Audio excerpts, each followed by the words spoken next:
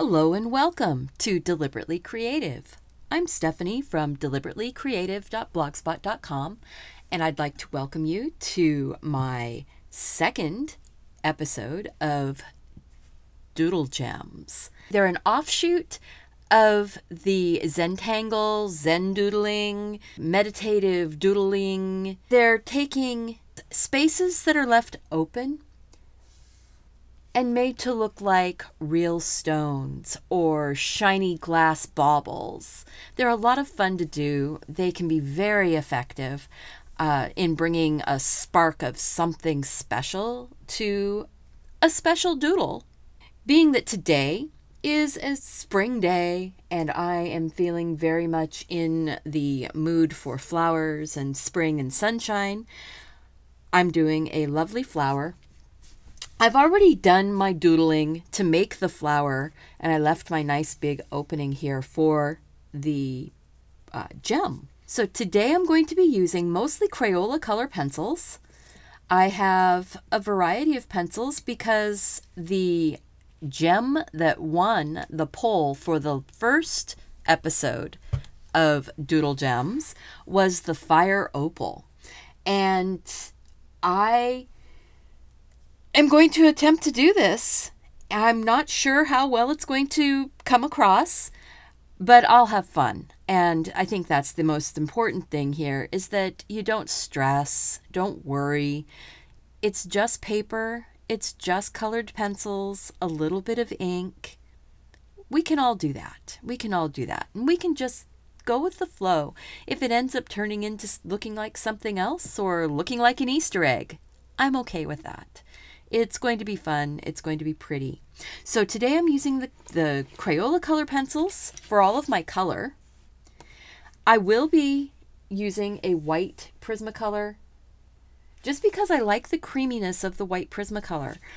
I, the on my first episode, used the Crayola color pencils to make a really pretty purple gem.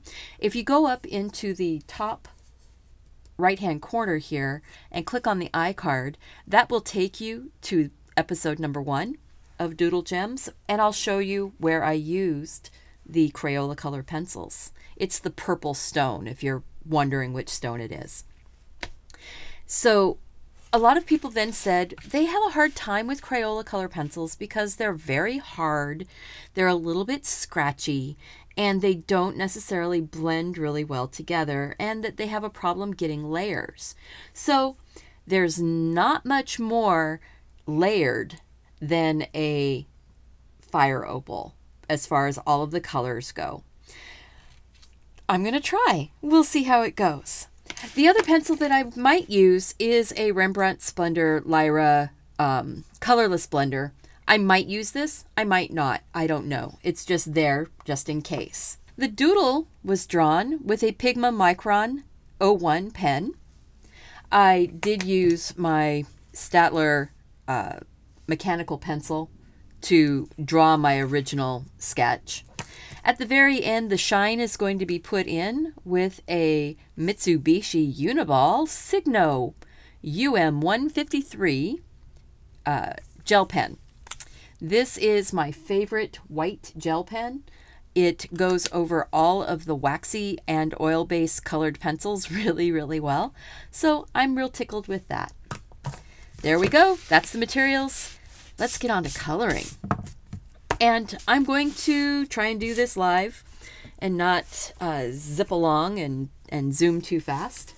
So I am looking at a picture of a uh, brightly colored opal that came from the Lightning Ridge, and it was a crystal opal, and it's a polished stone.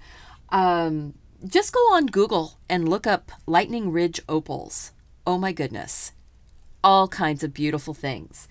Now, this particular opal is amazing as far as color goes. And I am going to go in and just start laying down some patches of color. And these patches of color are not smooth, washy, washy, washy patches of color. There's a lot of crystalline structure to this. So there's hard edges and there's flat planes inside. And there's multiple, well, let me put another spot of this color because there's not a lot of yellow in this particular one. It's got a lot more orange and purple, but it has a couple flashes of this bright yellow. Then it has some orange that sort of floats along beside the yellow.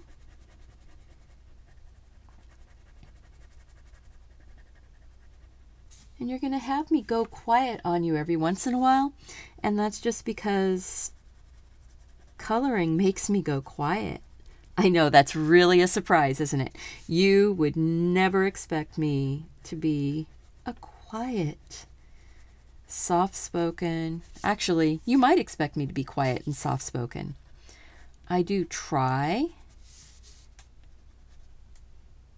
to share that quiet space that I have inside my head.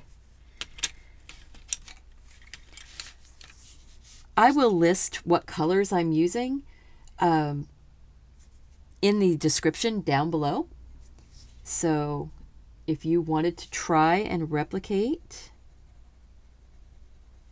this little opal, if it turns out well, let's see. I thought an, a little fire opal would be real pretty as the middle of a flower. The neat thing about this is that the fire opals, or the opals with the, all the fire on the inside like this, um, they change as light plays on them. They're not ever exactly the same. It's all the way light is refracting off of the minerals that were in the stone when the stone was being created a bazillion years ago. Now, there's this kind of soft gray in the background of this, and I want to lay a little bit of that in here. And this is not a true gray gray. This is, this is slate gray in the uh, Crayola range. What the gray does is it sort of slips in and the gray pushes to the background, which allows these colors to pop forward in a way that wouldn't normally, you wouldn't normally be able to see that without that restful soft gray in the background. Let's see, maybe a couple more little spots of gray. And then I'm going to put some color around those spots.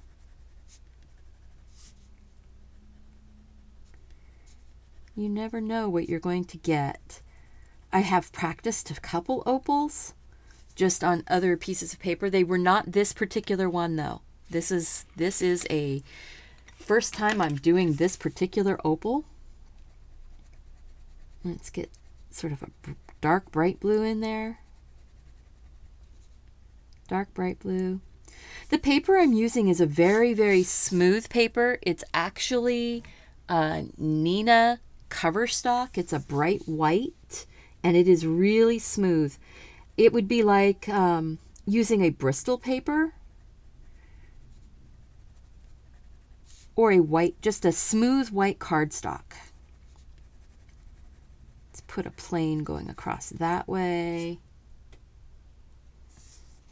And one of the things that happens is that these colors sort of come right up against the edge of each other and they make new colors, just like laying color pencils. So I've got this blue and I'm pulling it up into the yellow and I'm getting this pretty green.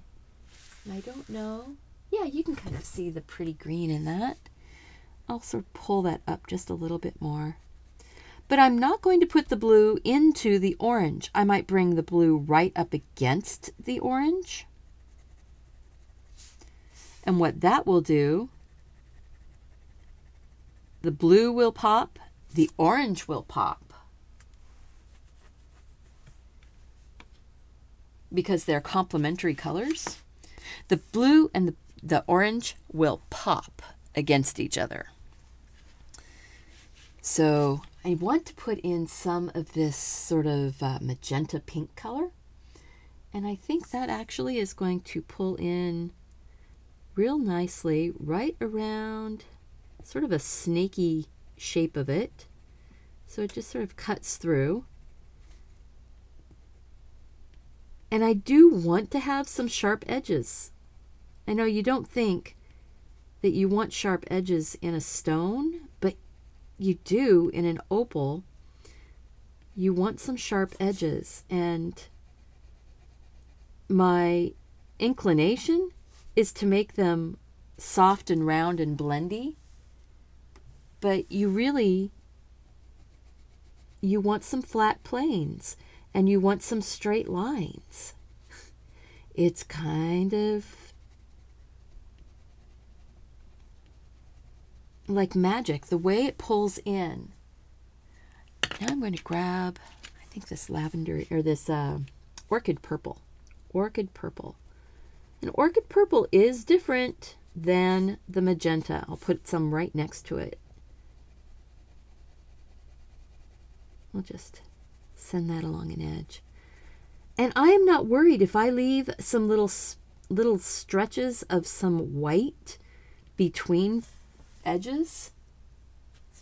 That just gives it another sense of dimension.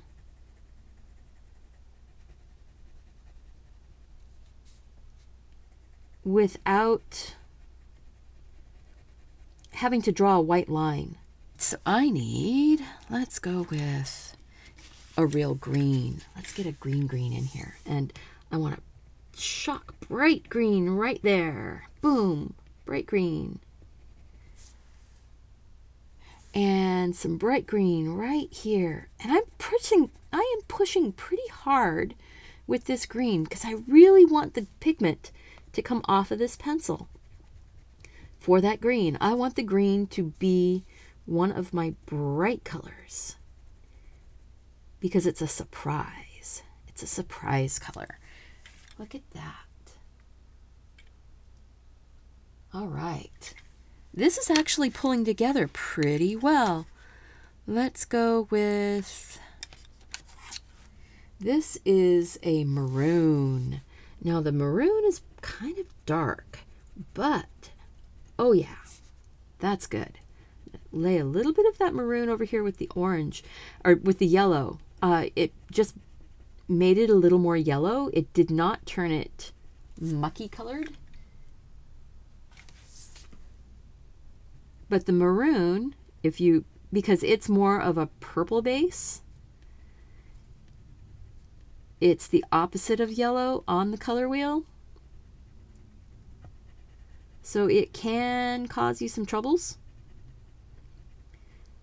But one of the things that people say, oh, I don't like the Crayola color pencils because it, they don't blend. Uh, in this case, that's a good thing. That's a good thing. They do blend, though. They do blend a little bit. They're not,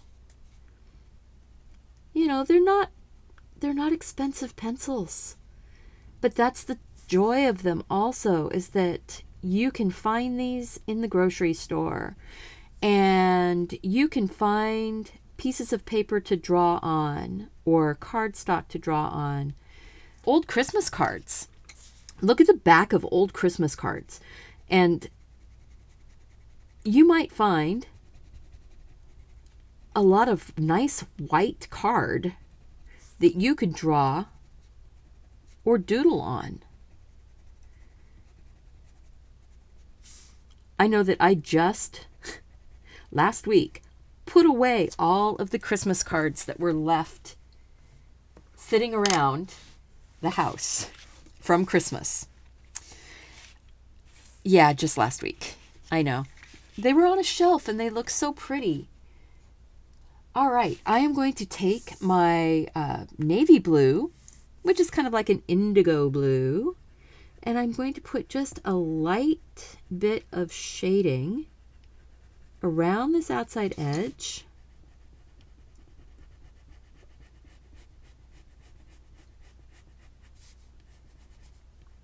Maybe tuck a little bit of it in here into the gray. Just a little bit.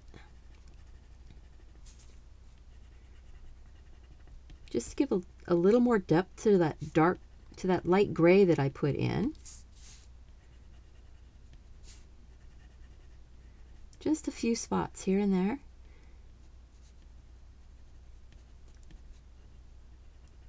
Tuck a little bit of dark right down in around those petals too. Okay, now I am going to take this white Prismacolor pencil and I am going to just sort of lightly blend over a few of these spots. One of the things that I've noticed about opals is that they have almost a waxy appearance. They're shiny. They have, um, but they have kind of a waxy look, a cloudy, can have, they can have a cloudy look to them with just a few of those sparks, those brilliant, brilliant sparks. So I'm trying to not go over all of my deep dark color or my superdy duperdy bright colors. Yeah, I make up my own words, people. I'm sorry. Superdy duperdy is a made up word. I'm sorry. All right. And now I'm I'm seeing this little area right here. And I'm trying to think if I want to deepen that with a darker purpley color. And that that blue is purple isn't it. Let's see. Let's just take the dark, dark, dark. I just want to get some definition between some of these spots. Just to give it a little more depth. So you notice that there's a change in color. I've seen some pictures of opals that totally amaze me, and I know that with practice, I might be able to replicate somewhat some of the beauty and the depth and fire. That depth and fire is all contrast and light, and light and contrast and you don't I need to train my eye to see what those color changes are, what those shifts of color are because it's it's hard to see those colors sometimes. It's hard for your brain to tell you what those colors are doing. If you notice, I'm just going in, I'm picking up color, I'm just dropping in some, I want to brighten up this orange a little bit. So I'm bringing some brighter fiery orange in. This is orange color that I was using. This one's mango. If anybody's interested, I will be putting all of the colors, like I said, down in the description. But this is mango orange. It's nice. It's got a nice fire to it. And laying it in next to some of these other colors along the edge of a blue or over a yellow is giving me, or even slipping it in along between a blue and a pink or a green and a pink. Ooh, okay. So what are you thinking, huh? Are we doing okay? Are we getting that? I'm not trying to move too fast. This is just real time. I'm chatting along and just doing it. Just looking at this going, hmm. I wonder. Yes, that is starting to look kind of opaly. There's kind of an edge on that one that I want to do. Let's just sort of smooth out the color a little bit without losing it too much.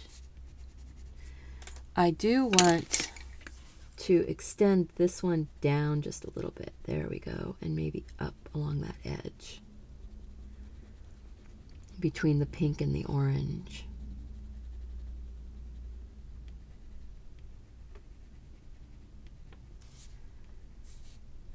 Then I'll take that white one more time. This time I'm just sort of dragging it across and it's just doing that to pull some of the colors so they sort of diffuse a little bit, but they stay. I don't know how else to describe that. It sort of diffuses those colors. I wonder if the uh, colorless blender will help in some of these spots. It's, no, actually, I'm not going to use that because the colorless blender, even though it was moving the color, it was also lifting the color. And that's, that's a little weird. So we'll just take the regular colors back in and just, it is layering. It's very interesting. This, the Crayola color pencils, they are layering. They're harder to layer. They are much harder to layer. But if this is what you can afford, you can make art with Crayola pencils. These are not necessarily light fast. They're not they're not artist grade. The pigments are not meant to last forever. But if you're making someone a card or making them a little drawing to stick up on their fridge or put in a little frame to have it last them, you know, as a happy birthday, as a happy Easter, as a welcome to spring. I think that this is great. So now this particular one that I'm looking at has this lovely highlight that just sort of goes swoosh across, swoosh across. So now I need to swoosh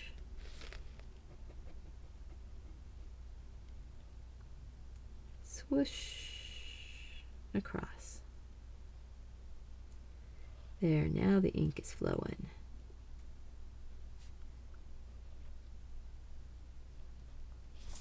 Okay, it has a little tiny highlight underneath of it here. And then there's sort of this little square. Square highlights usually happen from windows that are nearby. It has a little dot. And how's that, folks? That looks pretty good. I'm I'm pretty excited about that.